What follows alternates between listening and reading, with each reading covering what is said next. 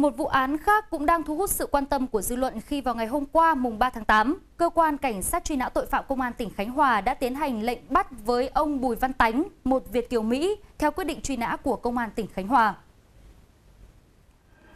Ông Bùi Văn Tánh sinh năm 1954, chú thôn Vĩnh Trường, thành phố Nha Trang, tỉnh Khánh Hòa, hiện đang sinh sống và làm việc tại Hoa Kỳ, bị truy nã vì tội cướp ghe tổ chức người trốn đi nước ngoài, theo quyết định truy nã số 121 ngày 24 tháng 7 năm 1990.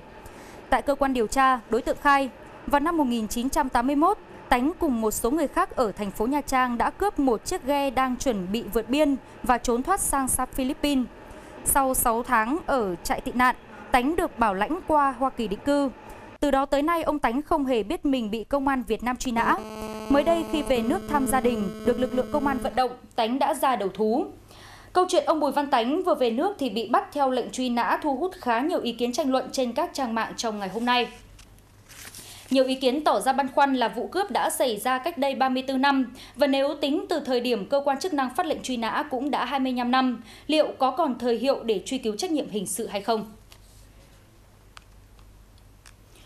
Xung quanh vấn đề pháp lý về cách tính thời hiệu truy cứu trách nhiệm hình sự đối với ông Tánh trong vụ việc này, thì cách đây ít phút trao đổi qua điện thoại với phóng viên đài truyền hình kỹ thuật số VTC, luật sư Phạm Thanh Bình, đoàn luật sư thành phố Hà Nội, người từng có nhiều năm công tác tại tòa hình sự, tòa nhân dân tối cao cho biết, thời hiệu truy cứu trách nhiệm hình sự hiện nay đối với tội đặc biệt nghiêm trọng là 20 năm kể từ ngày tội phạm được thực hiện.